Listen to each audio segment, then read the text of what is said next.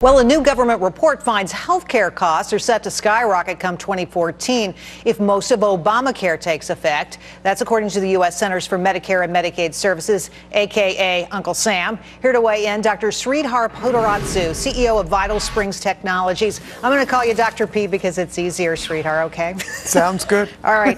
So, what do you make of these results? Is it true that Obamacare is going to escalate the cost of healthcare in this country?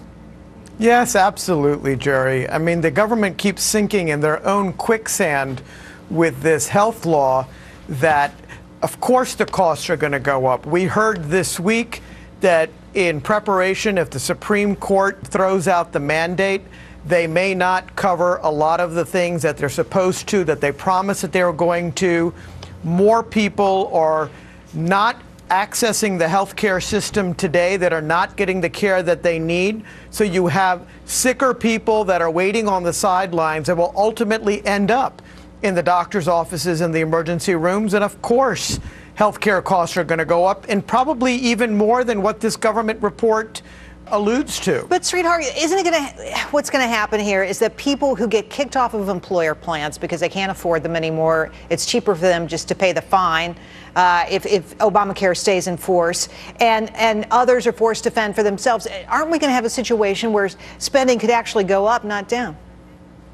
It's going to be a train wreck because if you follow through on what you just said with about 30% of employers saying, look, we're not going to participate. Let's let our employees go find insurance in the exchanges.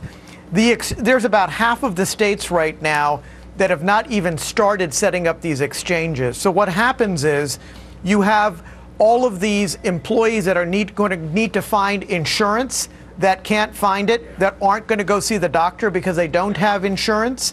So you're setting up an entire mechanism because these costs are going to go up because people aren't getting the care that they need.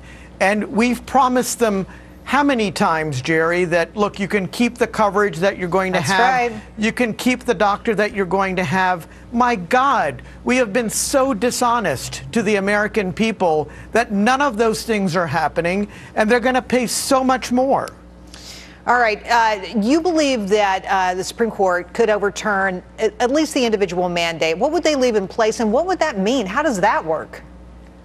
So I think between tomorrow and next Friday, we're going to hear from the Supreme Court. My prediction is I might be wrong that they're going to overturn the mandate but leave other components of the law in place.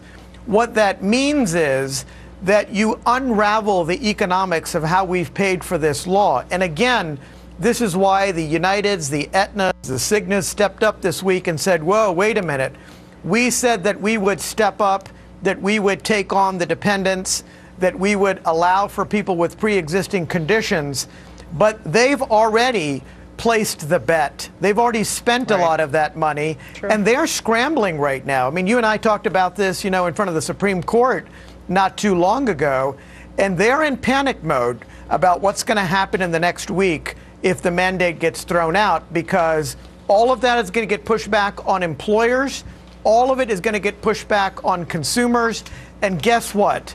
All of the costs are going up. Nothing is going down. Well, I wish you had brought us some good news, Sreedhar. Thanks for coming on the show tonight. Hey, I look forward to talking to you as this uh, Obamacare decision when it comes down. Hope to see you again I do soon. Too. Thank you. Absolutely. Thank you.